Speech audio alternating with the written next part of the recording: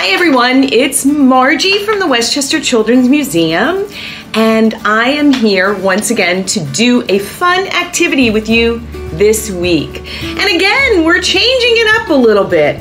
We know that you're going back to school soon, so we want to give you some really fun special activities to do before you go back to school.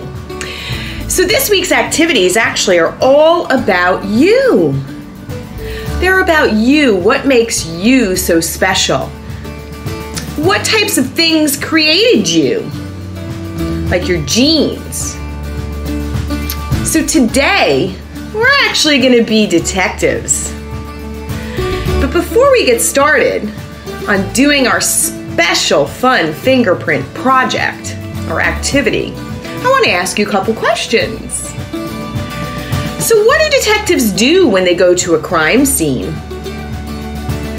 To try to figure out what happened in the crime or who did the crime.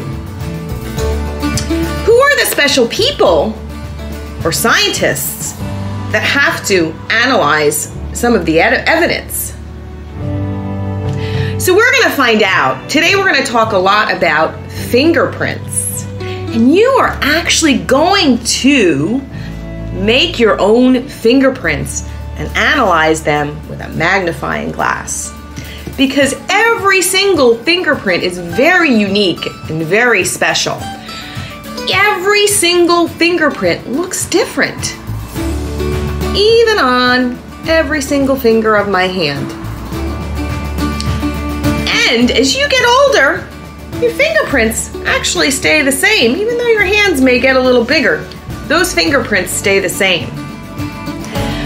So let's talk a little bit more about the special people that help on those crime scenes. So let's talk about what a forensic investigator does.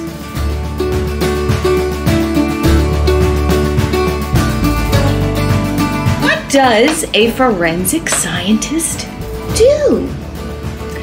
They actually, at a crime scene, they want to see if they can find things that will help them solve the crime. Some of those things could be blood, DNA, fingerprints, things like that. And that will help them find the truth about the crime or the person who did the crime.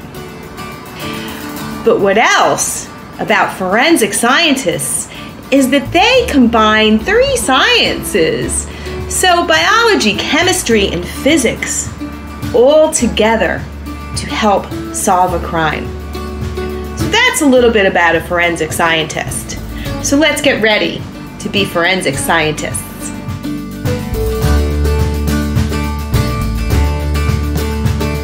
What you need is you need some clear tape.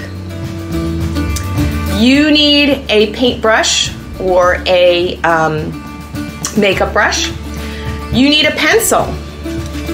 You need some white paper, and that paper can just be printer paper. You need a really good magnifying glass. You need some cocoa powder. And you need a glass or a glass jar. So, the things that you need for the extra activity that I spoke about is the cocoa powder, the glass, or glass jar and a paintbrush or a makeup brush.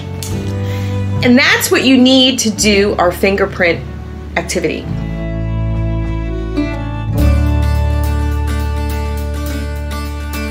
So, the first thing that you want to do is you want to take your left hand and you want to trace it with your pencil. So, all around trace my left hand. And there's my left hand. The next thing that you want to do is you want to rub, take a pencil, and you want to really rub some of the graphite on a piece of paper. So I want to really rub it, rub it, rub it, rub it, rub it, rub it, rub it. Okay, I'm rubbing. And then I'm gonna, you wanna take your pinky, you wanna kinda just rub it in it And then you can see that on my pinky. Then you wanna take a piece of tape, off a small piece of tape about an inch, put it on your finger, let it sit there, press it down, and then you wanna pull it off. And then you want to put it down on your pinky on the paper with your hand. Now you can do this for every finger. And then what you want to do is you want to take your magnifying glass and take a closer look at your fingerprint.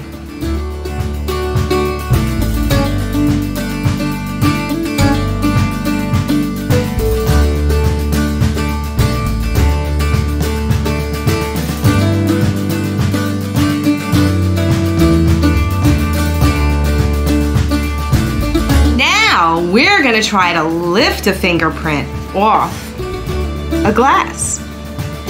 So we needed cocoa powder and we needed our paintbrush or makeup brush uh, to do that. We also need scotch tape and a glass. So the first thing you want to do is you want to kind of really rub your fingers together for a little bit. Maybe sing a song or something like that for maybe 60 seconds. Then what you want to do is you want to take the side of your glass and you're going to squeeze down tight for your fingerprints. The next thing that you want to do is you want to take a little bit of cocoa powder, just a little bit, you don't need much. Take your brush and then you want to brush over where you put your fingerprints very lightly. I can see them showing up already. Then you want to blow away the cocoa. And the next thing that you want to do is you want to take a piece of tape and you want to put it right over those fingerprints. And I can see, ooh, I can see a few of them, but I'm going to try to grab this one that looks really good here. I'm going to put it over and then I'm going to pull it off. Next, I'm going to put our fingerprint on a piece of paper. So let's take a closer look and see what the fingerprint we just lifted off the glass looks like. So here are the fingerprints that I lifted off the glass. Wow.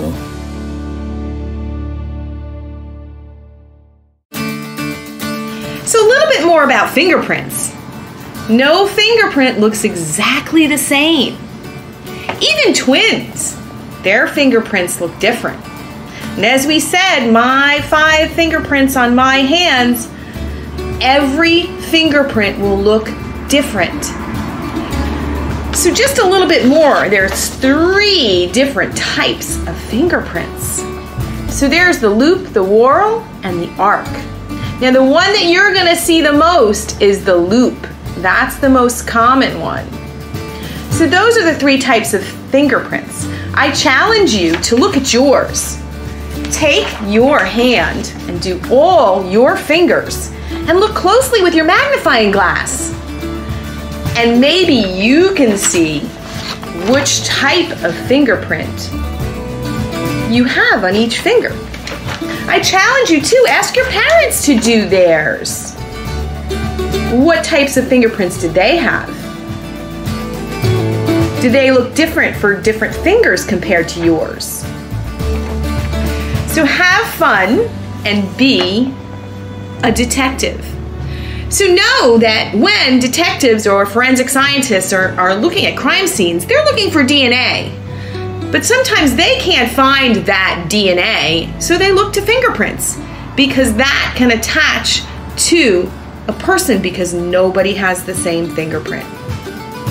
So I hope you enjoyed the activity today, all about fingerprints. And don't stop there. You can actually use some ink and dip your fingers in colored ink and make pictures. Maybe you can make a fall tree. Maybe you can make some animal creatures with your fingerprints. Or maybe you can make some flowers. So have fun. It's Margie from the Westchester Children's Museum once again, and I'm so happy to be here with you. And we'd love to hear any feedback you have about these activities. What are your favorites? What would you like to see? And I hope you have a really good day.